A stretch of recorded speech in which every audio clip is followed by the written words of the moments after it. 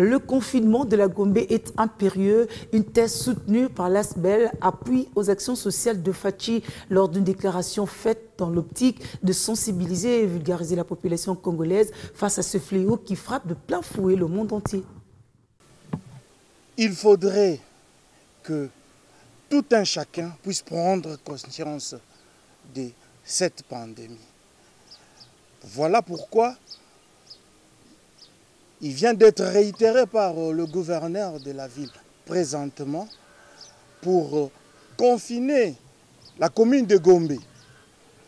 Effectivement, Gombe est maintenant comme étant l'épicentre. Et nous appuyons cette décision-là qui vient du chef de l'État je tiens fortement à vulgariser la population congolaise et je euh, demande à la population incrédule non seulement euh, d'admettre que la maladie existe, une maladie que nous avons appelée épidémie parce qu'elle est fortement contagieuse.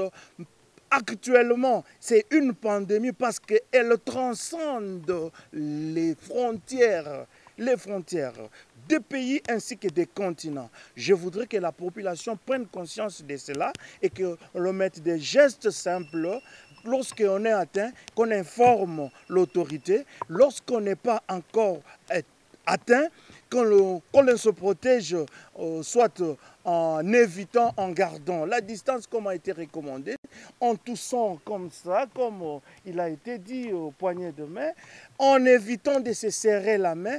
Et je pense que ce sont des gestes simples qui nous feront éviter et faire éviter aussi les autres